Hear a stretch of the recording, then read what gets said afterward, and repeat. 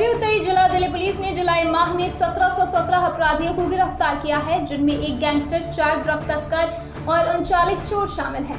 Police ने चोरी की गई लाखों की संपत्ति भी बरामद की है।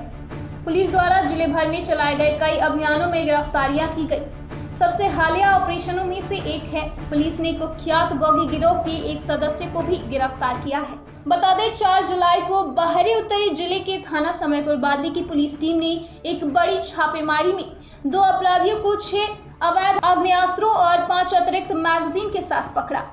साथ ही 4 जुलाई को आउटर नॉर्थ ज़िले के स्पेशल स्टाफ की टीम ने चार लुटेरों की गिरफ्तारी के साथ दर्ज डकैती के मामले को भी सुलझाया।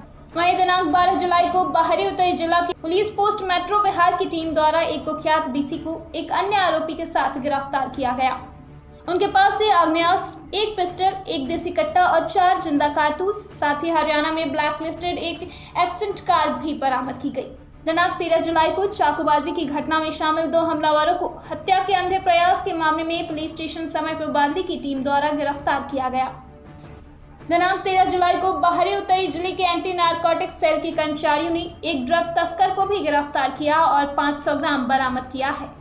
उसके कब्जे से हेरोइन, जिसकी बाज़ार कीमत करीब 50 लाख रुपए है। वहीं दिनांक 18 जुलाई को बाहरी उत्तर ज़िले के स्पेशल स्टाफ की टीम द्वारा चार व्यक्तियों को गिरफ़्तार किया गया।